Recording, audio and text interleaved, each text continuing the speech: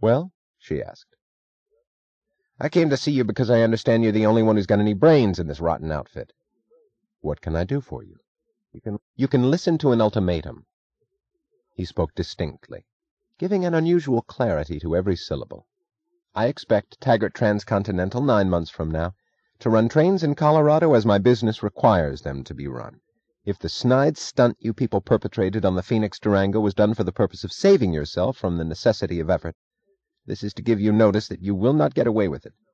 I made no demands on you when you could not give me the kind of service I needed. I found someone who could.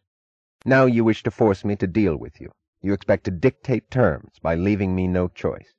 You expect me to hold my business down to the level of your incompetence.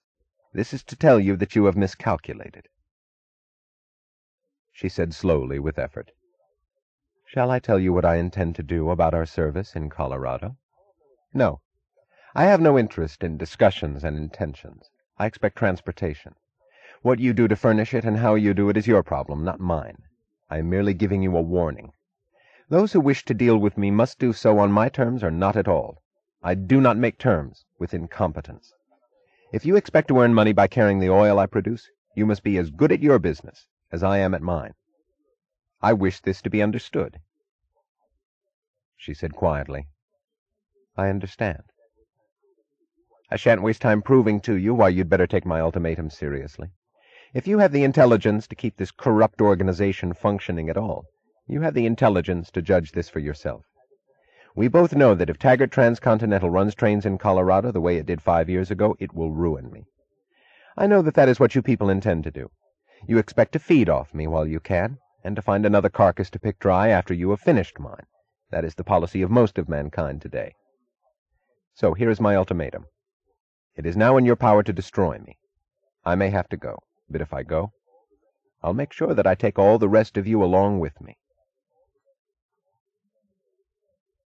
Somewhere within her, under the numbness that held her still to receive the lashing, she felt a small point of pain, hot like the pain of scalding. She wanted to tell him of the years she had spent looking for men such as he to work with. She wanted to tell him that his enemies were hers, that she was fighting the same battle. She wanted to cry to him, I'm not one of them. But she knew that she could not do it. She bore the responsibility for Taggart Transcontinental and for everything done in its name. She had no right to justify herself now. Sitting straight, her glance as steady and open as his, she answered evenly, You will get the transportation you need, Mr. Wyatt. She saw a faint hint of astonishment in his face. This was not the manner or the answer he had expected. Perhaps it was what she had not said that astonished him most, that she offered no defense, no excuses. He took a moment to study her silently. Then he said, his voice less sharp, All right. Thank you. Good day. She inclined her head. He bowed and left the office. That's the story, Hank. I had worked out an almost impossible schedule to complete the Rio Norte line in twelve months. Now I'll have to do it in nine. You were to give us the rail over a period of one year. Can you give it to us within nine months? If there's any human way to do it, do it. If not, I'll have to find some other means to finish it. Rearden sat behind his desk. His cold blue eyes made two horizontal cuts across the gaunt planes of his face. They remained horizontal, impassively half closed. He said evenly, without emphasis, I'll do it. Dagny leaned back in her chair. The short sentence was a shock. It was not merely relief. It was the sudden realization that nothing else was necessary to guarantee that it would be done. She needed no proofs, no questions, no explanations. A complex problem could rest safely on three syllables, pronounced by a man who knew what he was saying. Don't show that you're relieved. His voice was mocking.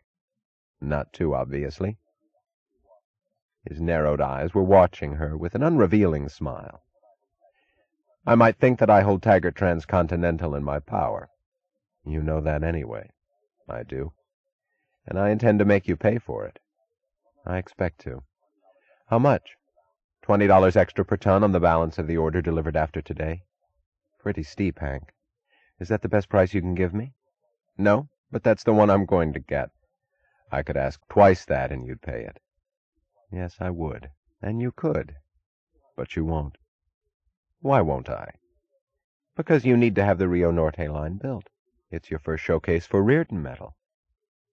He chuckled. That's right. I like to deal with somebody who has no illusions about getting favors. Do you know what made me feel relieved when you decided to take advantage of it? What? That I was dealing for once with somebody who doesn't pretend to give favors. His smile had a discernible quality now. It was enjoyment. You always play it open, don't you? he asked. I've never noticed you doing otherwise.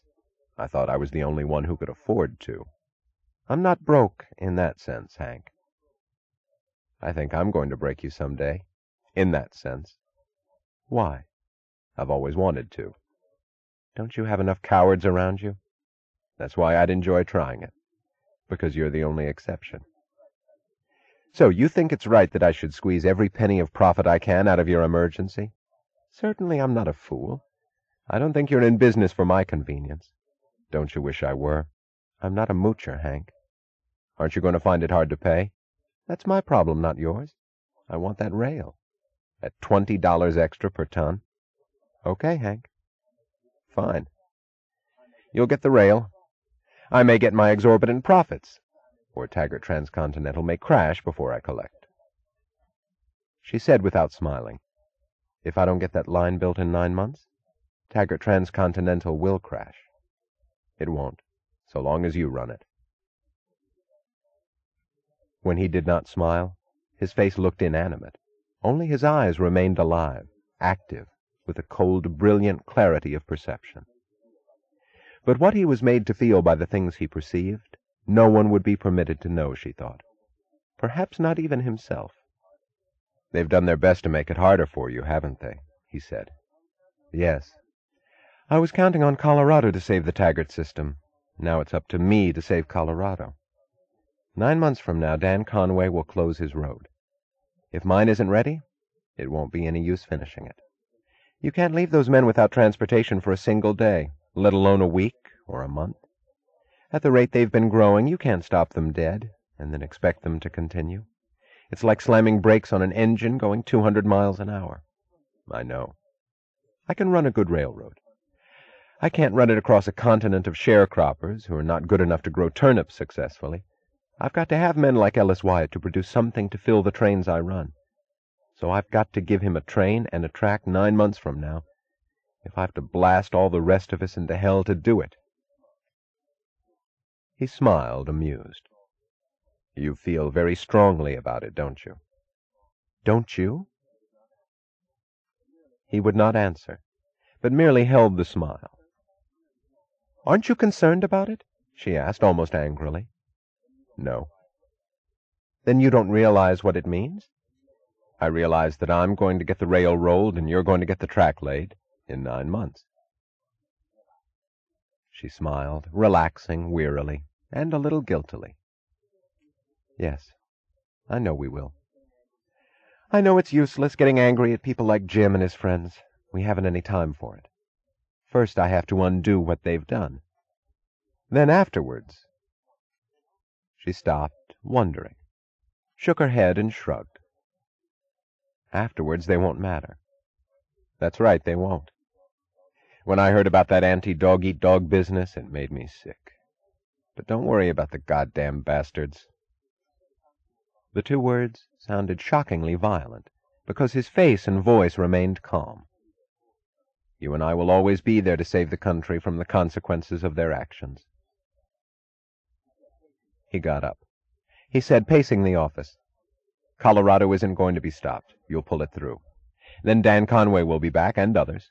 All that lunacy is temporary. It can't last. It's demented, so it has to defeat itself. You and I will just have to work a little harder for a while, that's all.